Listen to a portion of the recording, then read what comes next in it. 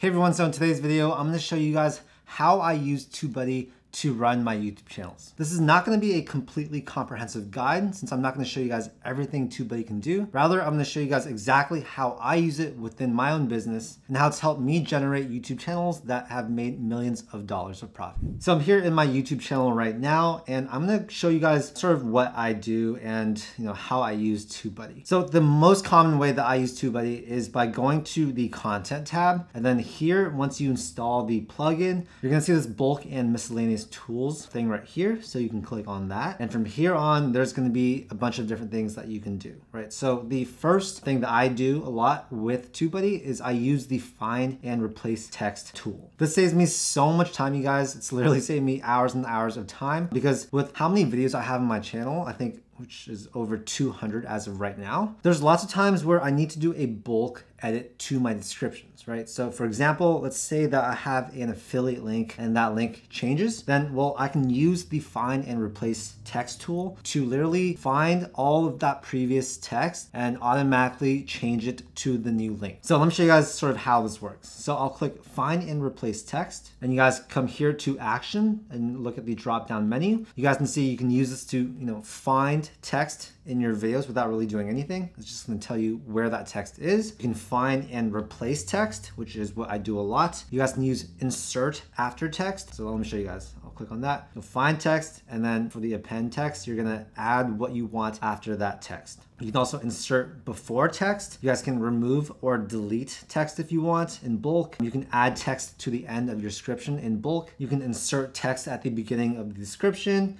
or you can replace the entire description, right? So a bunch of different ways you guys can use this tool. Most common for me in my business, in my YouTube channels, is I'll use this. So let's say I have an affiliate link and I'm just gonna paste one right here. This is gonna be a link and let's say I want to change this because I've created a shortened URL and I wanna replace that text. Basically what I'm gonna do is like I did already, I'll copy that link right here. And then after that, I'm gonna come here to replace text and I'm gonna uh, type in or copy and paste exactly what I want it to turn into. So I'm gonna do that. So in this case, what it's going to do is it's going to comb through all of my videos, all the descriptions. It's going to look for this and it's gonna replace that with this, right? So you guys can choose options, aka if you want it to be case sensitive, I suggest not turning that on. And you can also include partial word matches. You guys can search in titles or descriptions or both. And yeah, this sort of gives you a before and after example of what it's going to look like. So after I do that, I'm going to click continue. It's gonna ask if I want to search a full list of my videos, if I want to load only the recent 50 or X videos. You guys can choose a specific list. You guys can choose all the videos within one of your playlists, or you can search a list of videos that match whatever search phrase below. So I always pretty much use the uh, this one. I wanna search my full list of videos. I'll click continue. Now it's going to sort through, okay, so I have 345 videos and it's going to find all of the videos that have this. So you guys can see all these videos have that link in the description. So basically, keep scrolling down, you can see there's a lot of this link. Basically what I'm gonna wanna do is if I want to change it for all of them, I'll click select all. Good, so we've selected 150 different videos. After that, I'll click continue. I'll click yes, do it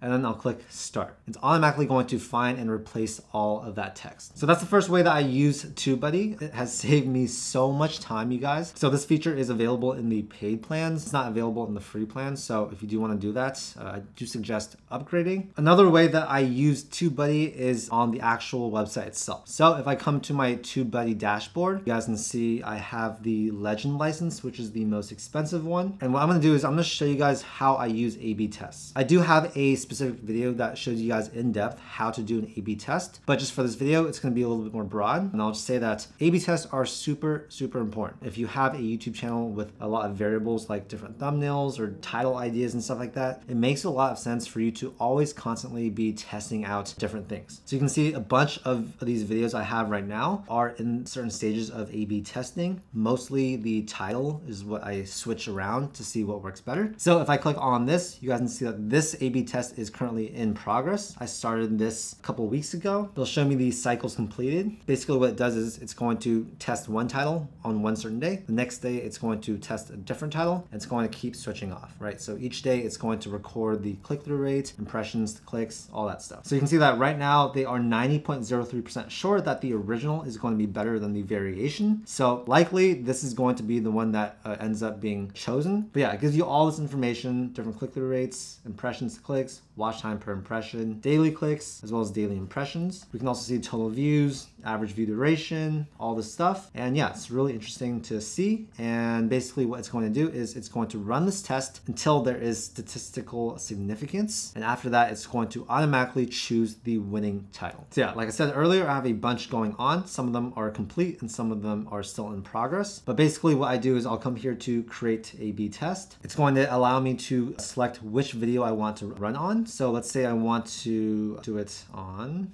this one, okay?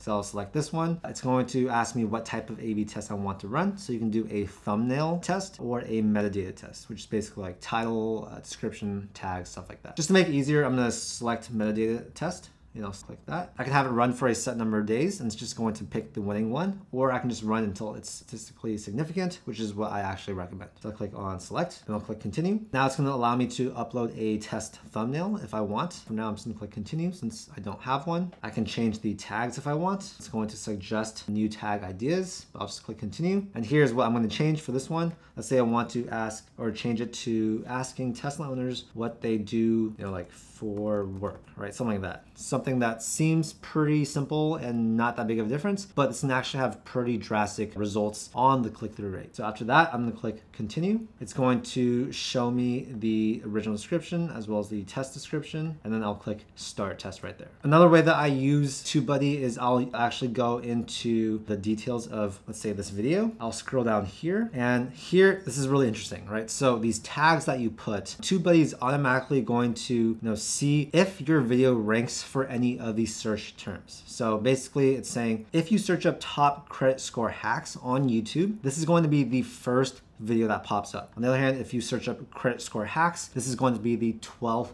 video that shows up. So obviously the higher the better, so one is the best, but this just gives you an idea of how your video is doing in terms of search performance. Another thing I really like about TubeBuddy is that it recommends tags, so I can actually come down here, I can select uh, new tags that it recommends based on all the data, right? So if I want to include this one, I can click the plus, whatever. I can also go to the tools by clicking on this button right here. There's so many things you guys can do that I'm not gonna be talking about in this video. For example, you can apply templates to cards to make that a lot faster. You guys can have an end screen template that makes it also a lot faster to do that. It can give you recommended tags. You can do your A-B test from here. You can actually schedule videos to be published. Another cool tool that they have is you can actually make thumbnails using TubeBuddy. Another way I like to use TubeBuddy is looking at the channel analytics. So this is actually free. It comes with the free plan of TubeBuddy and allows you to compare your channel with another channel. So right now I'm logging to my main channel and I am on the channel page for StartupWise, uh, which is what this video is hosted on. So it's gonna show you the total lifetime views, last 30 day views, as well as videos. And you can see the blue is going to be me on on my main channel and the red is going to be me on my Startupwise channel. So you guys can see, of course,